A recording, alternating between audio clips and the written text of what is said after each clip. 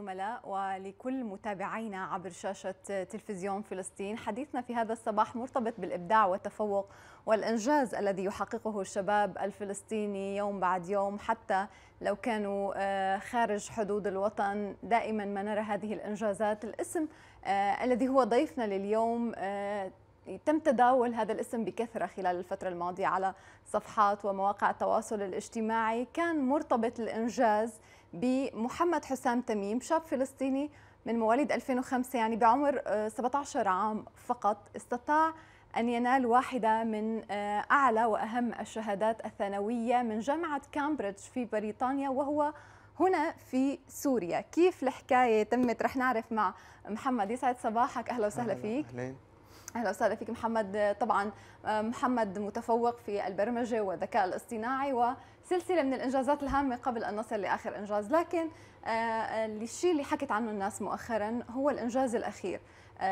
قدمت إلى جانب المنهاج السوري منهاج جامعة كامبريدج في بريطانيا من هون من سوريا وحققت فيه أعلى تصنيف. طبعا. خبرني شوي الفكرة كيف إجت؟ الفكرة بداية إجت آه، من حبي أنا للتعلم والاستكشاف شغلات جديدة. فبابا آه، ساعدني بإنه آه، وصله اقتراح من شخص ما إنه نحن فينا ناخذ هذا المنهاج يلي هو منهاج بيدرس ببريطانيا وبعدة دول أخرى بالعالم. فنحن صرنا بدنا نعرف إنه كيف فينا ناخذ هذا المنهاج بسوريا شو فينا نعمل.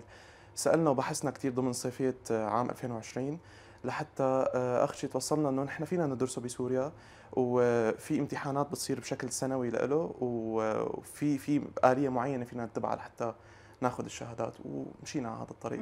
الوقت والتحضير والجهد يلي تم خلال هي الفترة قد استغرقت وقت وبمعدل قديش يوميا؟ لأنه أنت كمان بقيت متفوق أيضا بتعليمك الأساسي بشهادتك ضمن المنهاج السوري. كيف نسقت؟ هلأ آه هي أول شيء كانت تقريبا عام ونص لحتى آه طلعت النتائج. كان في بعض الأحيان في صعوبة شوي بتنظيم الوقت لأنه آه يكون في كثير ضغط من من منهاجين. منهاج لأنه بريطاني بيحتاج أحيانا أكثر من أربع أو خمس ساعات بشكل يومي. ف آه، تخيلي أنت مثلا أربع أو خمس ساعات مع مع وقت المدرسة. صحيح. فكثير وقت حيصير مضغوط. بس يعني قدرنا ننظم هالوقت لحتى نجيب هاي النتائج. هلا يمكن الناس اللي بتسمعنا حتى اللي بيتابعوك آه، هون محمد أو بيتابعوا شاشة تلفزيون فلسطين من سوريا آه، ممكن يكون عندهم تساؤل الشباب اللي بعمرك آه، صعبة القصة كيف ممكن نحن نعمل مراسلات؟ نحن هون بسوريا وبنعرف إنه سوريا حاليا عليها عقوبات كثير والطلاب السوريين أو الطلاب الفلسطينيين أو كل من يقيم في سوريا يبحث عن أي منفذ للتواصل مع الجامعات في الخارج ربما كيف آلية المراسلات التصحيح آه، آه، كيف بتتم؟ هلا أول شيء في منسق لجامعة كامبريدج آه، هو بسوريا بكل دولة في منسق. منسق تبع سوريا موجود بالمدرسة الباكستانية. نحن أول شيء نحن نحن تواصلنا معه لحتى نعرف عن المنهاج وهيك. فهو بيرتب كل هاي الأمور هو اللي بيتواصل مع الجامعة هو اللي بيبعث الأوراق للجامعة. هو اللي آه، بيطبع اوراق الامتحان. ف آه، يعني هي الآلية مو كثير صعبة. آه. بس بالأول الواحد لازم يكون على صلة مع المدرسة الباكستانية. يتواصل معهم يقول لهم أنا حابب آخذ امتحان ال AS أو ال A level بيدفع مبلغ معين وبيصير في يقدم هذا الامتحان. بده يكون عنده مستوى لغة إنجليزية عالي أكيد. طبعا أكيد. طيب آه إذا بدنا نحكي شوي عن آه أهمية هي الشهادة يعني ممكن يكون تساؤل أنا شو ممكن أستفيد منها لاحقا؟ أحقيتها في القبول ربما في الجامعات العالمية في حال قرر آه الشخص إنه يسافر خارج البلد. آه قديش تعطيك امتياز هي الشهادة؟ شو أهميتها؟ آه هلا هي الشهادة أهميتها أول شيء آه عالية كثير و كثير بتسهل بعض المواضيع. مثلا شهاده البكالوريا السورية ممكن الواحد يحتاج يعدلها برا يضوع وقت من من عمره يعني هو عم بيعدلها لحتى يقدر يسجل بالجامعات برا. بينما هي شهاده كثير من الجامعات بكثير دول بتفوتك مباشرة على الفرع اللي بدك إياه. حتى إذا كان في علامات أو درجات متميزة ممكن الشخص يختصر أول سنة من الجامعة دغري يفوت على السنة الثانية من الجامعة. أها حلو. طيب آه الفكرة آه، أيضا مرتبطة بأنه آه، عرفنا بالبداية بأنه حضرتك ابن مخيم اليرموك المخيم اللي عانى ظروف آه، صعبة وهجروا أهله للأسف منه قسرا. كنت بعمر صغير لما غادرت المخيم بجوز ما كثير بتوعى يمكن سبع سنين سبع على سنين. ما أتوقع.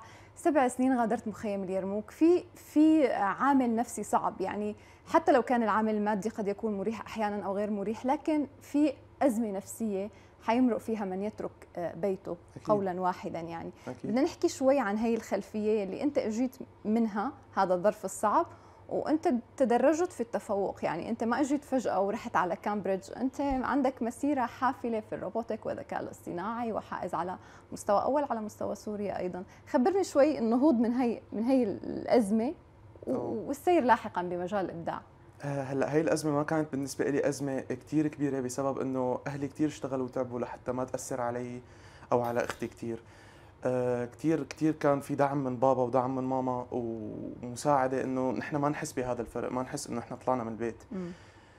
بعدين آه، تدريجيا أنا بلشت أوعى وأنضج وبلشت أدرى عن بطولات مثل بطولة الروبوتك قررت سجل فيها وجرب حالي. أنا من أنا وصغير بحب الروبوتات وعندي عندي طموح أعمل شيء بهذا المجال. آه، بلشت جرب بال 2015 آه، جبت مركز ثالث على سوريا. وبال 2016 جبت المركز الثاني. بعدين انقطعت الإنجازات. 2017 2018 ما جبت ولا مركز. بال 2019 قررت إنه أنا بدي فوت بجدية كبيرة وبدي فوت آه، بإرادة عالية. وقدرت أجيب المركز الأول على سوريا. طلعت مثلت سوريا بالبطولة العالمية لل robotic بهنغاريا. آه حلو. آه هاي الإنجازات المهمة بتخلينا نسأل عن الدعم الأسري قديش هو حاضر ذكرت والدك. آه بدي أعرف هيدا الاهتمام لأنه عادة شوي الأهل بخافوا على موضوع آه الدراسة. هلأ أنت اليوم ما في مجال. خلص سكتهم مثل ما بيقولوا لما جبت لهم آه، شهادة كامبريدج. بس آه، سابقا الدخول بعالم الروبوتك والذكاء الاصطناعي وهيك بخافوا الأهل إنه آه، يتحول الموضوع للشغل الشاغل ويترك الطالب أو الشاب أو ابنهم يترك الدراسة الأكاديمية. الدعم الأسري كيف كان؟ هلأ اولا بالنسبة لهي الفكرة بابا كان عنده شغلة دائما بيقول لي إياها إنه أنت شو ما بدك تكون باستكبار كونوا أنا ما عندي مشكلة ولا حقول لك شيء بس بشرط إنك تكون من الأفضل بهذا المجال. وهذا اللي أنا عم بعمله وهذا اللي أنا إن شاء الله رح أعمله كمان. فلذلك بابا كان دائما عنده ثقة عالية فيني وكذلك ماما وكذلك أختي. آه، هن الثلاثة كانوا دائما بيعرفوا إنه أنا إذا بدي فوت بشيء فأنا حفوت بجدية وما حخليه ياثر على دراستي وحأتفوق بهذا المجال. حلو. آه، متأثرة أختك فيك؟ يعني طبعا. عندها هيك اهتمامات آه، مميزة. هلأ أختي كثير شخص مميز بصراحة. أختي عم تدرس هلأ عمارة. بصراحة أنا بعتبرها فنانة بترسم رسم كتير حلو وبتصمم تصميمات كتير حلوة. وهي إنسان مميز يعني هي إنسان مميز كما هي. آه حلو. معناتها وراثة هيك بالعيلة هذا طبعا. الإبداع والتميز. آه طيب آه محمد نحكي شوي عن المرحلة القادمة. آه نحن ما مكتفيين باختبار ال AS آه رح نروح على المستوى الأعلى يلي هو ال A level من كامبريدج حنحضر له آه خبرني شوي عن هذا المستوى المتقدم. شو شو هو؟ آه، ناخذ تفاصيل عنه أكثر وأيضا التحضير للمرحله القادمة شو عم شو عم كيف عم تشتغل عليه؟ تمام. المستوى المتقدم اولا هذا مو كل الطلاب بتعمله لأنه يعني في بعض الناس بتكتفي بشهادة ال AS وإنه بتقول خلص أنا مسجل بجامعة متواضعة أو شيء. بس معظم الجامعات العالمية تصنيفها العالي بدها شهادة ال A level لأنه هي آه، الواحد نوعا ما بيكمل منهاج بيدرس معلومات متقدمة أكثر بيتوسع أكثر ولكن هي أكيد صعبة أكثر فأنا مقرر إني أعملها أساسا من أول ما فتت وإني آخذ ال A level إن شاء الله بعلامات عالية وإن شاء الله إني آه، أبدأ آه، مرحلة مراسلة الجامعات وإني أبحث عن جامعة خارجا من التصنيف العالي حتى نروح على العالمية إن شاء الله. آه، لازم الشاب لحتى يكون عنده هذا الشغف وهو بعمر صغير عادة الشباب بهذا العمر بيكون عندهم اهتمامات ثانية وأنت أكيد قريب منهم وبتعرف محمد. ممكن حدا يكون بيحب هي القصة بس هذا اللي عم تحكي عنه يستهلك كل الوقت تقريبا. تمام. آه الهامش الترفيهي أو هيك الشبابي الشيء اللي بيحبوا يعملوه الشباب بهذا العمر قديش مساحته بي بي بيومك؟ مغيبه كليا أو كيف مظبط الأمور؟ لا هو بصراحة في في شوية مساحة. أنا دائما بحب إني آه، أعيش حياتي وأنا مبسوط. ما بحب كمان أضغط حالي كثير لدرجة إني مثلا ما يكون عندي وقت لأستمتع بالحياة. فأنا لا بالعكس بقدر أدبر وقت. حتى أحيانا بلعب كجيمر يعني بلعب على اللابتوب أحيانا بروح مع رفقاتي. عادي جدا. بس هي الشغلة بدها شوية تنظيم وقت. أنا عم بحكي هيك حتى آه، ما يقولوا الناس إنه آه، لازم يكون عنده قدرات خارقة ووقت full تماما ما ما ممكن يتسلى بشيء لا محمد آه، جامع هيك مجد الحياة من كل أطرافه. طيب الطموح والحلم. نحن عم نشتغل شيء بال robotic بالذكاء الاصطناعي. عم نشتغل شيء بمنهاج كامبريدج بمواد يمكن فيزياء واللي قدمناهم. معلوماتية ورياضيات. فيزياء ومعلوماتية ورياضيات.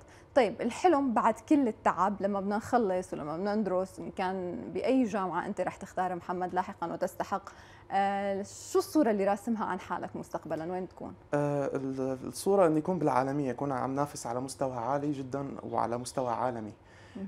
بأي مجال أنا بتمناه يعني إن كان بمجال مثلا تطوير الألعاب أنا أحيانا بشتغل game development تطوير ألعاب. أحيانا مثل ما قلتي بشتغل شوي ذكاء اصطناعي بشتغل هي الشغلات ال robotic أنا إيه، بدي اكون من من من ال top بالعالم إن شاء الله. إن شاء الله. ونحن شايفينك بهذا المكان وتستحق وبكون لنا لقاء بعد ما تاخذ ال A level آه ونحكي أكثر كمان عن هي الإنجازات. آه، فخورين فيك محمد وبالشباب يلي أمثالك. نورتنا بهذا الصباح. محمد حسام تميم حضرتك. آه، طالب آه، فلسطيني سوري متفوق في مجال البرمجة والذكاء الاصطناعي. صباح الخير عن جديد وشكرا لك شكرا لك. شكرا لك محمد. ومثل ما قال محمد الجملة اللي قال له إياها والده اختار أي مجال تختاره بالحياة بس حط ببالك بدك تكون متفوق بهذا المجال ايا يكن. هي قاعدة كثير مهمة. يمكن حوارنا مع محمد بيكون انتهى. نعود لكم زملاء في استديوهات رام الله.